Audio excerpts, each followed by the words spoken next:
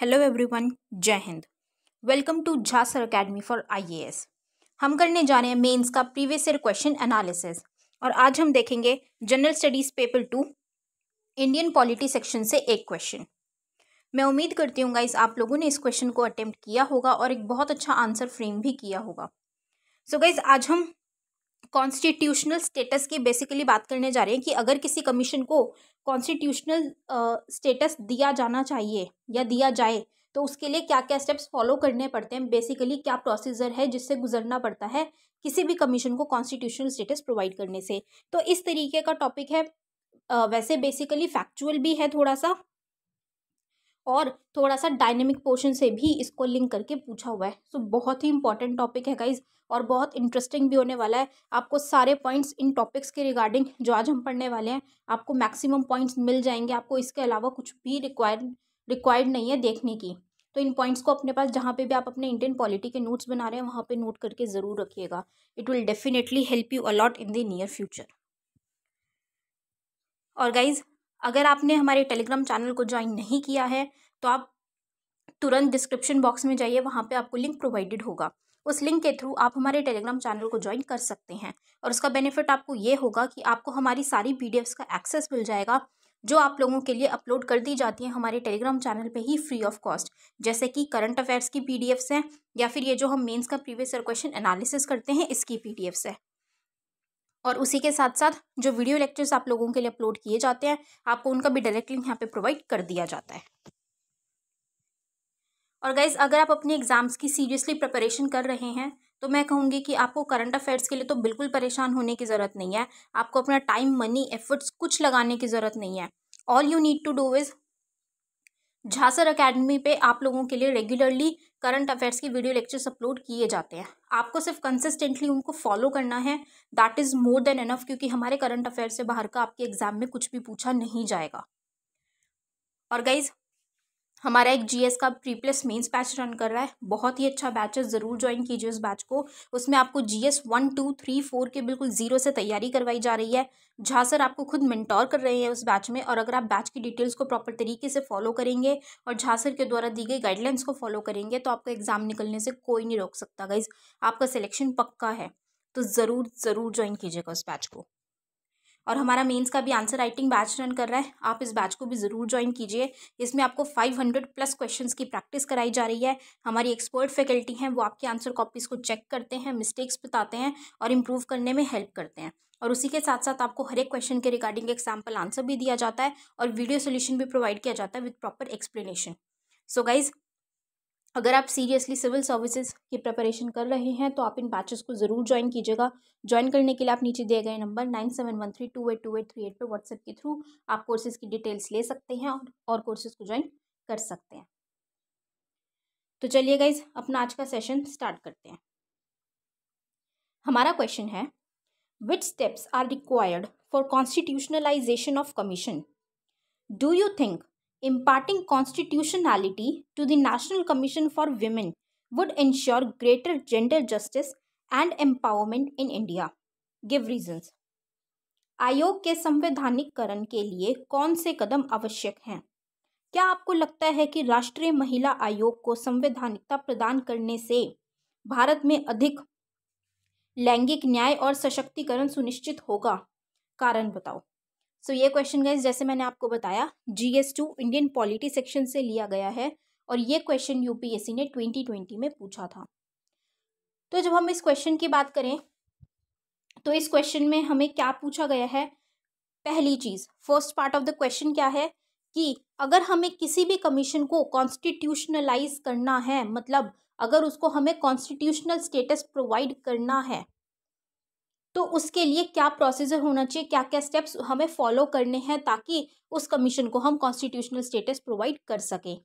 First part second part में हमें क्या बोला गया है कि एक नेशनल कमीशन फॉर विमेन हमें देखने को मिलता है। वो नेशनल कमीशन फॉर विमेन क्या है? एक स्टैचूटरी बॉडी है rather than a constitutional body statutory body कौन सी होती है? जिसको एक पार्लियामेंट के एक्ट के थ्रू बनाया जाता है। ठीक है? तो अब क्या है वो? पार्लियामेंट के एक्ट के थ्रू बनाया तो इसीलिए वो स्टैचूटरी बॉडी है। लेकिन क्या बोला जा रहा है कि आपको क्या लगता है? मतलब हमारे व्यू पॉइंट्स पूछे जा रहे हैं कि उसको अगर कॉन्स्टिट्यूशनल स्टेटस प्रोवाइड कर दिया जाए, उसको एक कॉन्स्टिट्यूशनल बॉडी बना दिया जाए तो क्या वो ज़्यादा जेंडर जस्टिस मतलब कि लैंगिक न्याय बरकरार कर पाएगा या ज़्यादा दे पाएगा, सुनिश्चित कर पाएगा और सशक्तिकरण सुनिश्चित कर पाएगा एम्पावरमेंट इंश्योर कर पाएगा। तो उसके व्यू पॉइंट में हमें बताना है इधर येस और नो हमें अपनी एक्सप्लेन एक्सप्लेन करना है उसको अपने रीजंस देते हुए। Right right? सो so, हम इस क्वेश्चन को इसी तरीके से फॉलो अप करेंगे। टू पार्ट्स जो पूछे गए हैं उसी के तहत हम इसको एक्सप्लेन करेंगे। So let's start with answer now constitutionalization sorry constitutionalizing a body gives strong powers which are drawn from the constitution. अब कॉन्स्टिट्यूशनलाइजिंग हमें एक वर्ड से ही पता चल रहा है। जैसे हमने बात की स्टैचूटरी बॉडी कौन सी होती है, जो पार्लियामेंट के एक्ट के तहत बनाई जाती है। लेकिन कॉन्स्टिट्यूशनल बॉडी कौन सी होती है? जिसकी पावर्स कहाँ से ड्राइव होती है, कहाँ से मिलती है कॉन्स्टिट्यूशन से ही मिलती है। हमारे भारत के संविधान से उसको वो पावर्स मिलती हैं। तो कॉन्स्टिट्यूशनलाइज अगर हम किसी बॉडी को कर देते हैं तो उसको ज़्यादा स्ट्रॉन्ग पावर मिल जाती है क्योंकि वो कॉन्स्टिट्यूशन के तहत आ जाता है। तो इसीलिए उसकी ज़्यादा इंपॉर्टेंस बढ़ जाती है और ज़्यादा अच्छी अच्छे तरीके से इंश्योर कर पाता है। राइट तो अब हमसे क्या पूछा गया था कि प्रोसीजर क्या है? एक्चुअल में प्रोसीजर क्या इन्वॉल्व है?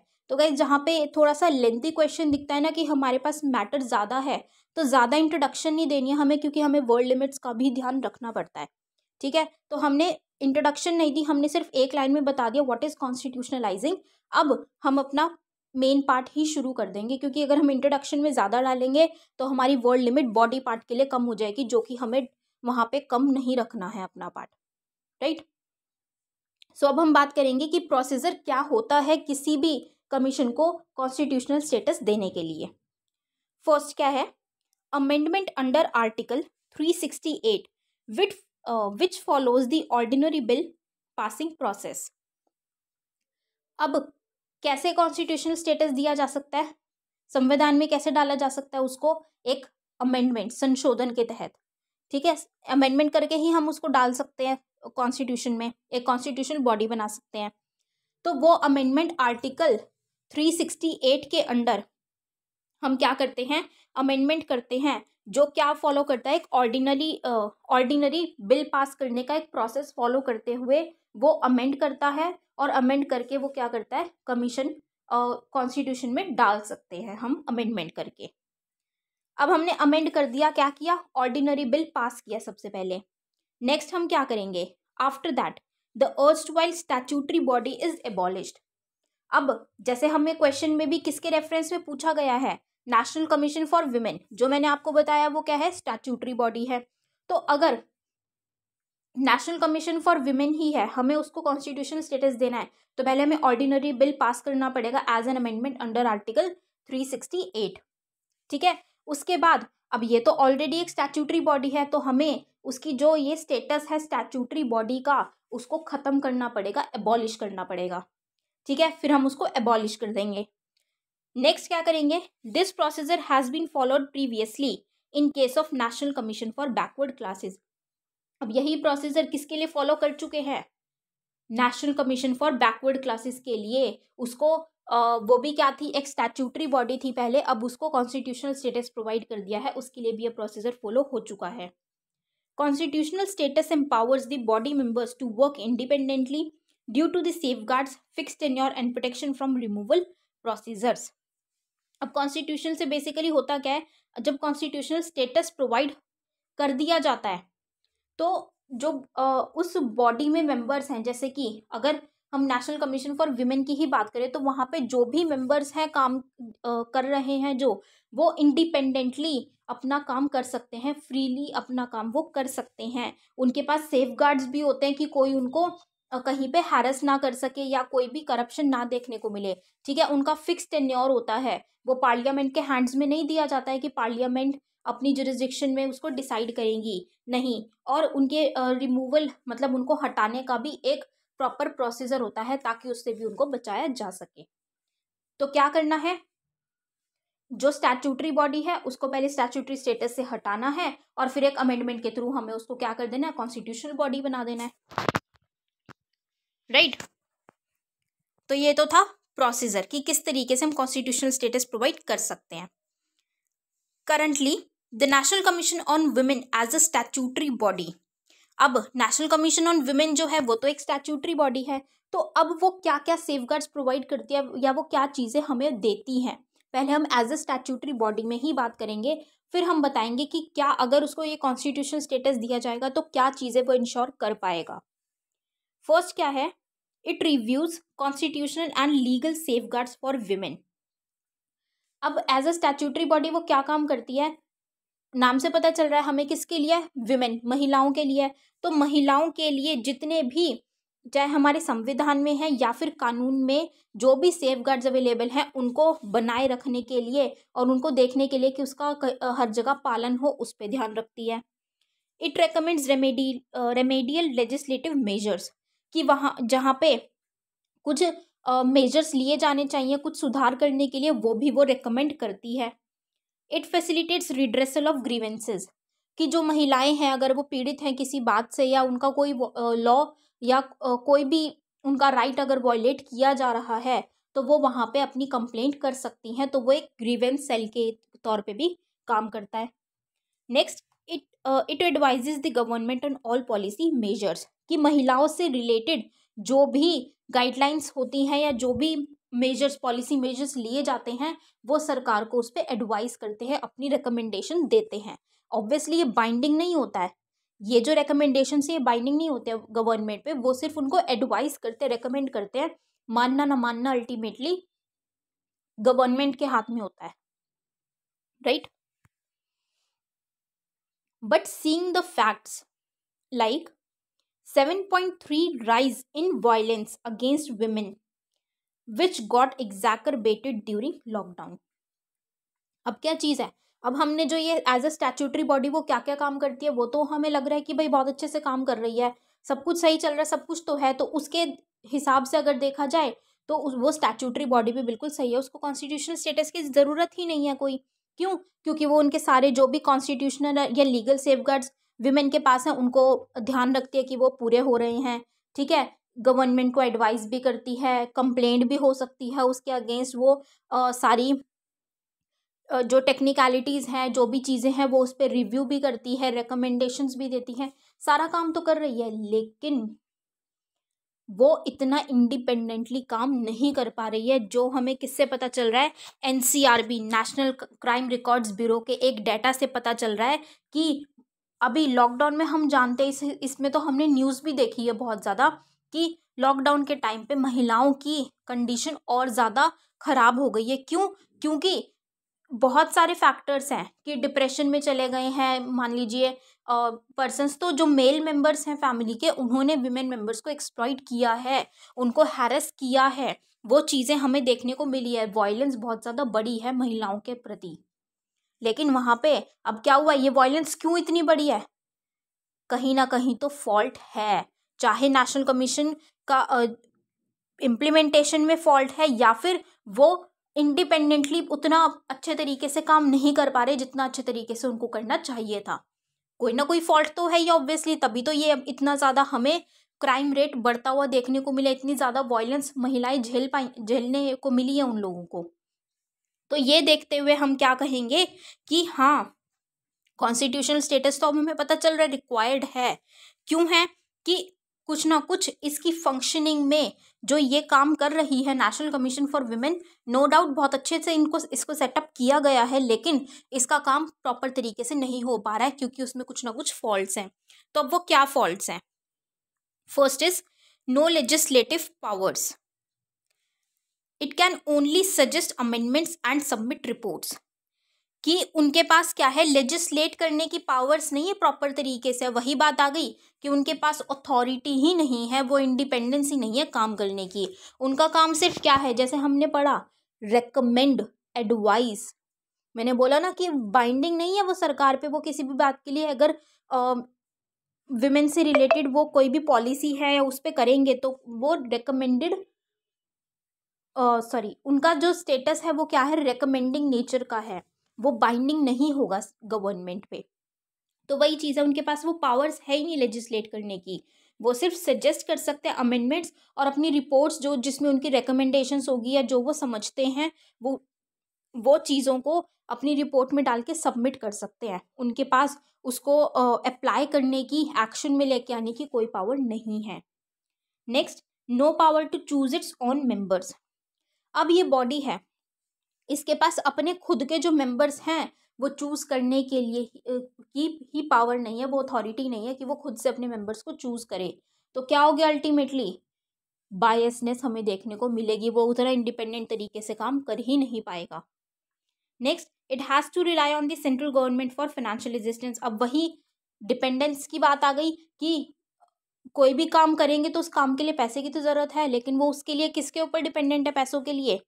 सेंट्रल गवर्नमेंट पे तो सेंट्रल गवर्नमेंट उनको अपने हिसाब से वहाँ पे चला सकती है। अगर वो प्रॉपर फंड्स देगी तो काम अच्छे से हो पाएगा। जहाँ पे सेंट्रल गवर्नमेंट को लगता है यहाँ ज़रूरी नहीं है तो वहाँ पे उनको फंड्स नहीं देगी इतने तो वो भी एक लिमिटेशन है। Next these factors may impede my free free functioning of the body अब ये जो फैक्टर्स है, इससे इस बॉडी की, इस कमीशन की जो प्रॉपर तरीके से या फ्रीली इंडिपेंडेंटली जो काम हो सकता था वो काम नहीं हो पाता है क्योंकि ये इंटरप्शन इंटरवेंशन कहीं ना कहीं आ जाती है। Right right? तो ये हमें लिमिटेशंस देखने को मिल रही हैं। In its current status also the commission has achieved in कि अपने प्रेजेंट का जो उसका स्टेटस है, अब उसमें क्या क्या चीज़ें उन्होंने और भी अचीव की हैं? Preparing gender profiles of all states and union territories कि उन्होंने जेंडर प्रोफाइल्स बनाई हैं सारे के सारे स्टेट्स और यूनियन टेरिटरीज़ की कि किस तरीके से है, उन्होंने वो सारा का सारा रखा है। Taking up women related issues and was proactive in पारिवारिक पारिवारिक महिला लोक अदालत, कि वो विमेन के महिलाओं के इशू को कोर्ट तक लेकर गए हैं, लोक अदालत तक लेकर गए हैं और पहले ही प्रोएक्टिवली वर्क भी किया है उन्होंने इस मामले में। Next reviewing reviewing laws like dowry prohibition act P C P N D T act to make them more stringent कि उन्होंने लॉज भी देखे हैं इसमें कि कहाँ पे अगर कुछ लूप होल है तो उसको करेक्ट किया जा सके ताकि इनको और भी ज़्यादा मज़बूत और और भी ज़्यादा कठोर बनाया जा सके इन नियमों को, ताकि इनका पालन प्रॉपर तरीके से हो सके और विमेन के अगेंस्ट कोई भी एक्सप्लॉइटेशन देखने को ना मिले। तो अच्छा काम भी किया है इसने नो डाउट बस बट कुछ लिमिटेशंस है जिसकी वजह से ये बिल्कुल प्रॉपर तरीके से अपना हंड्रेड परसेंट वर्क अपना हंड्रेड परसेंट नहीं दे पाती अपनी फंक्शनिंग में। तो उसको हंड्रेड परसेंट करने के लिए कॉन्स्टिट्यूशनल स्टेटस अब बात आती है कि क्या कॉन्स्टिट्यूशनल स्टेटस प्रोवाइड होने पे इसको हंड्रेड परसेंट किया जा सकता है। सो विल सी दैट कि कॉन्स्टिट्यूशनल स्टेटस अगर इसको दिया जाएगा तो वो किस तरीके से हेल्प करेगा। This is certain that the national commission for women lack some powers and it should be empowered for better functioning अब ये तो हमने देखा है कि उनमें कुछ पावर्स जैसे लेजिस्लेटिव पावर्स नहीं है उनके पास। ठीक है? या फिर फाइनेंशियल एग्जिस्टेंस उनके पास प्रॉपर तरीके से मतलब इंडिपेंडेंटली नहीं है, उसको, उनको मांगना पड़ता है डिपेंड होना पड़ता है सेंट्रल गवर्नमेंट पे। तो उनको वो दी जानी चाहिए ताकि वो प्रॉपर तरीके से काम कर सके। The question could be also answered by looking at the difference made by granting constitutional status to NCBC and similar bodies कि जो ऐसी कुछ बॉडीज़ हैं, जैसे हमने बात की थी कि national commission for backward classes को स्टैचूटरी बॉडी ही थी वो पहले, लेकिन अब उसको कॉन्स्टिट्यूशनल स्टेटस दे दिया गया है। ऐसी और भी बॉडीज़ हैं जो पहले स्टैचूटरी थी, उनको कॉन्स्टिट्यूशनल स्टेटस दिया गया है। तो उनको देखिए, उनकी वर्किंग पहले अब कितनी है और उसके हिसाब से देख के हम आंसर कर सकते हैं कि अब बेटर है। उनको कॉन्स्टिट्यूशनल स्टेटस जब दिया गया है तो अब वो बेटर है। तो उस ग्राउंड्स पे हम कह सकते हैं कि जब हम नेशनल कमीशन फॉर वुमेन को भी अगर कॉन्स्टिट्यूशनल स्टेटस दे देंगे तो वो बेटरमेंट के लिए ही होगा। क्योंकि जो लिमिटेशंस हमें देखने को मिल रही है एज अ स्टैचूटरी बॉडी वो लिमिटेशंस नहीं होंगी क्योंकि वो पावर्स उनको प्रोवाइड कर दी जाएँगी जिनकी अभी कमी है। Right so on the concluding note the process of gender equality lags behind even today जानते हैं हम ये बात तो कि बेशक से क्या है कि पहले के मुकाबले अगर हम देखें तो आज के टाइम पे बहुत चेंज है। बहुत ज़्यादा बेटरमेंट के लिए ही चेंज आया है। लेकिन फिर भी अभी भी हमें ये क्या चीज़ें देखने को मिलते कि लोग तो बहुत ज़्यादा ऐसे बोलते हैं कि लड़की और लड़का इक्वल है girls and there is no difference between a girl and a boy but उसको एक्शन में लेके बहुत कम लोग आते हैं। तो ये जो प्रोसेस है कि वो एक्शन में, वो सिर्फ़ लिप्स पे ना आए, सिर्फ़ वर्ड्स में ही ना हो, वो एक्शंस में भी प्रॉपर तरीके से आए तो उस प्रोसेस को भी टाइम लगेगा, वो भी बहुत पीछे चल रहा है। All necessary steps like such legal protection would prove effective only if there is societal change that would be true gender justice तो ऐसे जितने भी स्टेप्स है, जैसे कि उनको लीगल प्रोटेक्शन प्रोवाइड करना, वो तभी कारगर साबित होंगे। अब जैसे हमने बोला कि कॉन्स्टिट्यूशनल स्टेटस प्रोवाइड कर दिया जाए। कर दो कॉन्स्टिट्यूशनल स्टेटस प्रोवाइड उससे क्या होगा कि लेजिस्लेटिव पावर्स उनको मिल जाएँगी, ठीक है? या उनकी जो, वो इंडिपेंडेंट बॉडी बन जाएगी। मान लिया। लेकिन वो तब भी उतना ही काम कर पाएँगे जब तक आ, मतलब उनका काम तब तक ही इफ़ेक्टिव है जब तक कि लोग सपोर्ट करेंगे। अगर सोसाइटी में अगर लोग ही अपनी मेंटालिटी को चेंज नहीं करेंगे तब तक हम जेंडर जस्टिस प्रॉपर तरीके से सही मायनों में जेंडर जस्टिस लैंगिक न्याय हम लेके ही नहीं आ सकते। जेंडर न्यूट्रलिटी को हम इंश्योर कर ही नहीं सकते हैं जब तक सोसाइटी ही चेंज नहीं होगी। ये कमीशंस कितना भी अपना बेस्ट दे दे, लेकिन तब भी जब तक सोसाइटी में चेंज नहीं आएगा, ये अपना बेस्ट नहीं दे पाएँगे। Right so this was all for this question guys I hope you all have like this analysis अपना फीडबैक गाइज़ हमारे साथ कमेंट सेक्शन में ज़रूर शेयर कीजिएगा। So with this we end up this session today here guys thank you so much have a great day ahead जय हिंद